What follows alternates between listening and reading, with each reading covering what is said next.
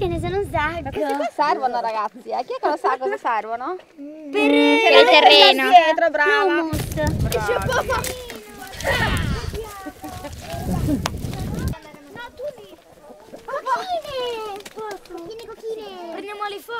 Vi racconto una giornata tipo, al mattino arrivano, si siedono in cerchio, si salutano e poi vanno a dare da mangiare alle galline, vanno su, si strappano l'erba, la mettono in una cassettina, la portano su dalle galline, gli lanciano quest'erba, poi scendono, vanno a vedere se c'è qualcosa per merenda, tipo l'altro giorno si sono andati a prendere il finocchio, si sono presi i finocchi per fare merenda col finocchio, perché abbiamo un orto didattico esclusivamente per la scuola praticamente. Infatti anche la geometria l'altro giorno con l'educatore, il maestro Elio sono andati su, hanno fatto le misure dell'orto, hanno preso le misure per fare un quadrato, un rettangolo, siamo sempre fuori. Il nostro progetto è fondato sull'aggancio con la natura. Molte volte ci ritroviamo a trattare, a parlare di magari elementi grammaticali o eh, in matematica, in cose quindi molto tecniche, al parlare, al guardare, a osservare, andare a uscire fuori, andare a fare le passeggiate per vedere nel concreto cosa la natura ci può dare rispetto a quell'argomento.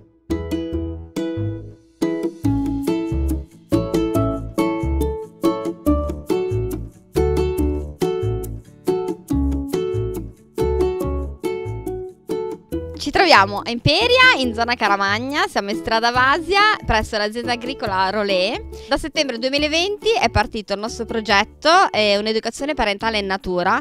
E abbiamo dato il nome a questo progetto, Corazon Citos, eh, perché loro per noi sono dei cuoricini e ci insegnano veramente tante cose. E avevamo già eh, in progetto questa idea io e un'altra mamma perché mia figlia e la figlia di questa mamma erano nella stessa classe. Avevamo l'idea eh, di una scuola diversa, più a contatto con la natura. Di fatto oggi siamo otto bambini con eh, tutte le famiglie che ci aiutano. Ci sono i bambini della primaria, quindi dalla prima elementare alla terza media. E quella cosa che ci è piaciuta molto, il fatto che eh, collaborano tra di loro, i grandi aiutano molto i piccoli e viceversa.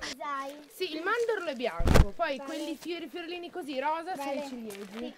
Carini.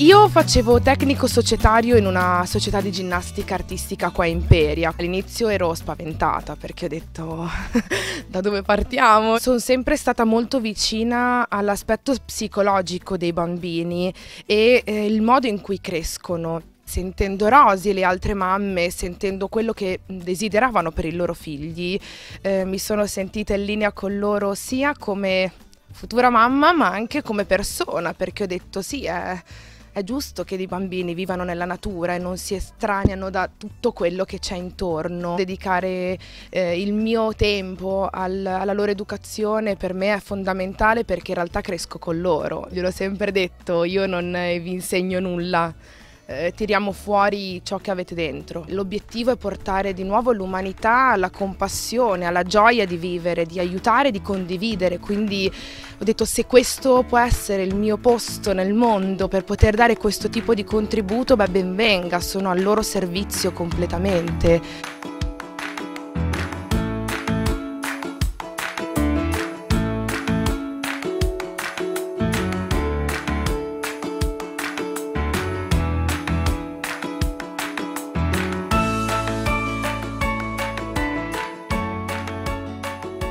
Fondamentale che l'ascolto sia la base, ma ascoltare davvero, non solo sentire le parole, ma sentirle, percepirle nel, no, nel nostro cuore puntiamo molto su questa cosa in effetti, sull'autostima, sull'ascolto dell'altro, la crescita personale. Noi la chiamiamo è vero educazione, scuola parentale, la chiamiamo in tutti i modi, ma il nostro vero e grande obiettivo è che crescano delle persone e gli cresca l'anima. Ci siamo rese conto che questo tipo di, di approccio ai bambini ha dato a loro un beneficio immenso sotto l'aspetto proprio relazionale, non solo sotto l'aspetto dell'apprendimento, perché hanno cioè, delle mh, conoscenze pratiche acquisite che eh, io sto imparando con loro. E sono loro che ti, ti portano, eh, tu non te ne rendi conto in realtà.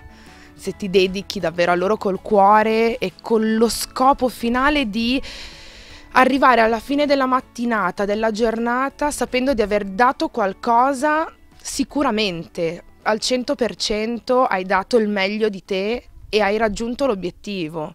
Personale insieme ad altre ragazze che come lei erano esper- esperte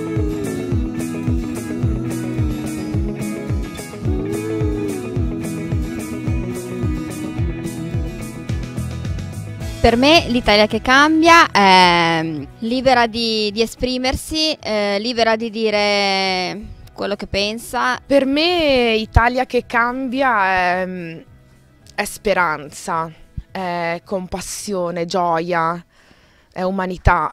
Quest'Italia che cambia non puoi fermarla ormai, quest'Italia